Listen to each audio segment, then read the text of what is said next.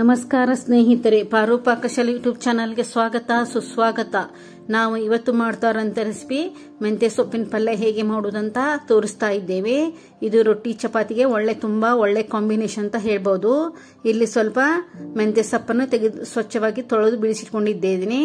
ಒಂದು ಲೋಟ ತೊಗರಿಬೇಳೆ, ಒಂದು ಸಣ್ಣ ಕಟ್ ಮಾಡಿದ ಈರುಳ್ಳಿ ಒಂದು ಬೆಳ್ಳುಳ್ಳಿ ಗಡ್ಡಿ ಬಿಡಿಸಿ ಸುಲಿದಿಟ್ಕೊಂಡಿದ್ದಂಥದ್ದು ನಾಲ್ಕರಿಂದ ಐದು ಹಸಿಮೆಣಸಿಗೆ ಸಣ್ಣ ಕಟ್ ಮಾಡಿದ್ದು. ಸ್ವಲ್ಪ ಕೊತ್ತಂಬರಿ ಸೊಪ್ಪು.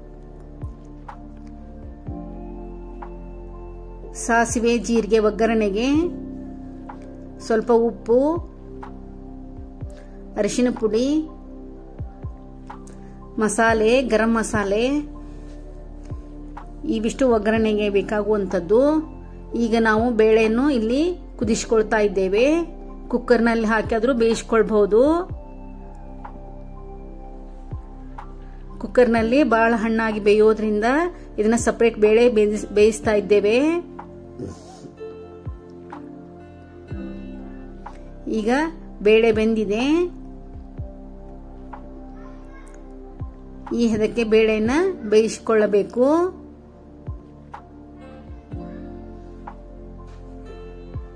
ಈಗ ನಾವು ಇದಕ್ಕೆ ಒಗ್ಗರಣೆಯನ್ನು ಮಾಡಿಕೊಳ್ಳೋಣ. ಒಂದು ಬಾಣಲೆಯನ್ನು ಸ್ಟೋವ್ ಮೇಲೆ ಇಟ್ಟು ಇದಕ್ಕೆ ಎರಡರಿಂದ ಮೂರು ಟೀ ಸ್ಪೂನು ಎಣ್ಣೆಯನ್ನು ಹಾಕಿಕೊಳ್ಳೋಣ.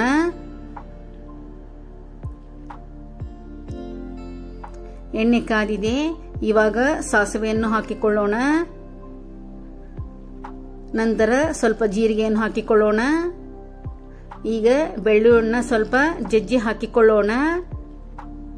ಈಗ ಹಸಿಮೆಣಸಿನ್ಕಾಯಿ ಕಟ್ ಮಾಡಿದ್ದು ಅದನ್ನು ಹಾಕಿಕೊಳ್ಳೋಣ. ಸಣ್ಣ ಕಟ್ ಮಾಡಿದ ಈರುಳ್ಳಿಯನ್ನು ಹಾಕಿಕೊಳ್ಳೋಣ. ಈಗ ಇದನ್ನ ಕೆಂಪಗೆ ಬರುವವರೆಗೂ ಇದನ್ನ ಬೇಯಿಸಿಕೊಳ್ಳೋಣ.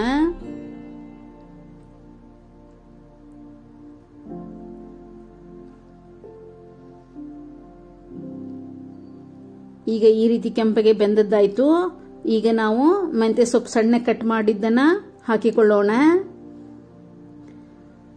ಒಗ್ಗರಣೆಯಲ್ಲಿ ಮೆಂತ್ಯ ಸೊಪ್ಪು ಪೂರ್ತಿ ಹಸಿ ವಾಸನೆ ಹೋಗುವವರೆಗೂ ಇದನ್ನ ಬೇಯಿಸಿಕೊಳ್ಳೋಣ.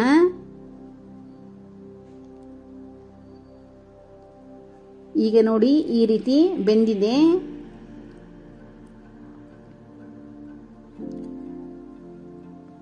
ಮೆಂತ್ಯ ಸೊಪ್ಪು ಪೂರ್ತಿ ಬೆಂದ ನಂತರ ರುಚಿಯಾಗಿ ಬರುತ್ತೆ.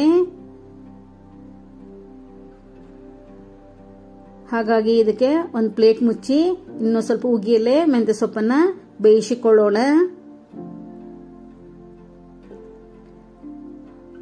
ಒಂದೆರಡು ನಿಮಿಷ ಬೇಯಿಸಿಕೊಂಡದ್ದಾಯ್ತು.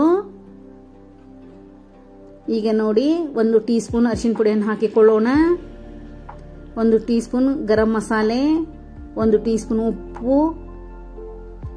ಈಗ ಇದನ್ನೆಲ್ಲ ಹಾಕಿಕೊಂಡು ಮತ್ತೊಮ್ಮೆ ಇದನ್ನ ಮಿಕ್ಸ್ ಮಾಡಿಕೊಳ್ಳೋಣ.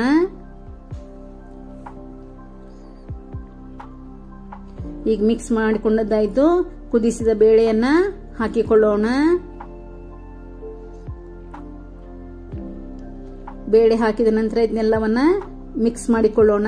ಮೆಂತ್ಯ ಸೊಪ್ಪಿನ ಒಗ್ಗರಣೆ ಮತ್ತು ಬೇಳೆಯನ್ನ ಈ ರೀತಿ ಮಿಕ್ಸ್ ಮಾಡಿಕೊಳ್ಳಬೇಕು. ಈಗ ಇದು ಒಂದು ಕುದಿ ಕುದಿವರೆಗೂ ಇದನ್ನ ಕುದಿಸ್ಕೊಳ್ಳೋಣ. ಈಗ ನೋಡಿ ಮೆಂತ್ಯ ಸೊಪ್ಪು ಕುದೀತಾ ಇದೆ. ಹೀಗೆ ಪಲ್ಯ ರೆಡಿಯಾಗಿದೆ ಈಗ ಸ್ವಲ್ಪ ಕೊತ್ತಂಬರಿ ಸೊಪ್ಪನ್ನ ಹಾಕಿಕೊಳ್ಳೋಣ. ಇದು ರೊಟ್ಟಿ ಚಪಾತಿಗೆ ತುಂಬಾ ಒಳ್ಳೆ ಪಲ್ಯ ಅಂತ ಹೇಳ್ಬೋದು. ಲಂಚ್ ಬಾಕ್ಸು ಅಷ್ಟೇ ಒಳ್ಳೆಯದು. ಈಗ ಪಲ್ಯ ಸರ್ವ್ ಮಾಡ್ತಾ ಇದ್ದೇವೆ. ಈ ವಿಡಿಯೋ ನೋಡಿದ್ದಕ್ಕಾಗಿ ಧನ್ಯವಾದಗಳು.